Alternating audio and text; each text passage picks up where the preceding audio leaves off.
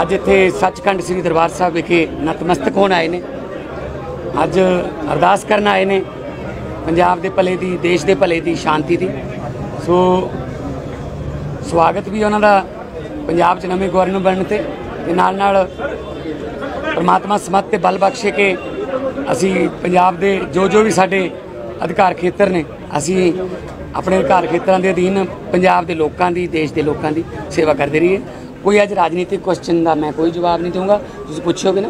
Governor साहब अगर जो भी उन्होंने फीलिंग है इतने आके परिवार समेत कहा कि मैं पंजाब का राज्यपाल बन कर के यहाँ अभी आया हूँ।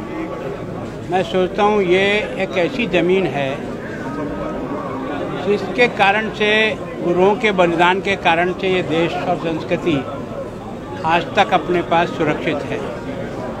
और मैं सोचता हूँ इस गोल्डन टेंपल में माथा टिकाने के लिए देश का जन जन ये प्रयास करता है कि मेरे को भी ये मौका मिले कि मैं भी यहाँ माथा टिकाकर ये आशीर्वाद लूँ, कि मैं ईमानदारी से काम करूँ, जनता का सेवक बन के काम करूँ, पंजाब के विकास के लिए, चंडीगढ़ के विकास के लिए, जो कुछ भी मेरे को प्रभु ने अब तक सिखाया है, उसको मैं ठीक प्रकार से ज़मीन पर उतार सकूँ। तो मैं सोचता हूँ यह जो शक्ति है जहाँ से माथा टेक करके मैं ये आशीर्वाद लेकर जा रहा हूँ कि मैं मेरे काम में सफल हूँ। अमन, चैन और शांति बनी रहे, भाईचारा बना रहे और देश तरक्की के रास्ते पर आगे बढ़े। उसमें हम लोगों का भी सहयोग हो। इसी के लिए मैं यहाँ माथा टेक करके आशीर्वाद देने के लिए आया हूँ। आप सबको भी इस अवसर पर मेरी ओर से आज इतने सचखंड श्री दरबार साहब विखे नतमस्तक होना आए ने। अज अरदास करना आए ने। ਪੰਜਾਬ ਦੇ ਭਲੇ ਦੀ, ਦੇਸ਼ ਦੇ ਭਲੇ ਦੀ ਸ਼ਾਂਤੀ ਦੀ।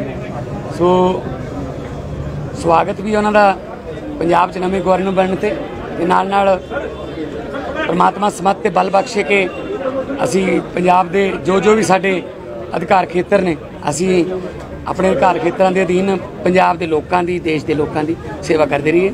ਕੋਈ ਅੱਜ ਰਾਜਨੀਤਿਕ ਕੁਐਸਚਨ ਦਾ ਮੈਂ ਕੋਈ ਜਵਾਬ ਨਹੀਂ ਦਊਂਗਾ। ਤੁਸੀਂ ਪੁੱਛੋਗੇ ਨਾ ਗਵਰਨਰ ਸਾਹਿਬ ਅੱਗੇ ਜੋ ਵੀ ਉਹਨਾਂ ਦੀ ਫੀਲਿੰਗ ਹੈ, ਇੱਥੇ ਆ ਕੇ ਪਰਿਵਾਰ ਸਮੇਤ ਆਓ। कहा कि मैं पंजाब का राज्यपाल बन कर के यहाँ अभी आया हूँ। मैं सोचता हूँ ये एक ऐसी ज़मीन है, जिसके कारण से, गुरुओं के बलिदान के कारण से ये देश और संस्कृति आज तक अपने पास सुरक्षित है। और मैं सोचता हूँ इस गोल्डन टेंपल में माथा टिकाने के लिए देश का जन जन ये प्रयास करता है कि मेरे को भी ये मौका मिले कि मैं भी यहाँ माथा टिकाकर ये आशीर्वाद लूँ कि मैं ईमानदारी से काम करूँ, जनता का सेवक बन के काम करूँ, पंजाब के विकास के लिए, चंडीगढ़ के विकास के लिए, जो कुछ भी मेरे को प्रभु ने अब तक सिखाया है, उसको मैं ठीक प्रकार से ज़मीन पर उतार सकूँ। तो मैं सोचता हूँ, यह जो शक्ति है, जहाँ से माथा टेक करके मैं ये आशीर्वाद लेकर जा रहा हूँ कि मैं मेरे काम में सफल हूँ अमन चैन और शांति बनी रहे, भाईचारा बना रहे और देश तरक्की के रास्ते पर आगे बढ़े। उसमें हम लोगों का भी सहयोग हो। इसी के लिए मैं यहाँ माथा टेक करके आशीर्वाद देने के लिए आया हूँ। आप सबको भी इस अवसर पर मेरी ओर से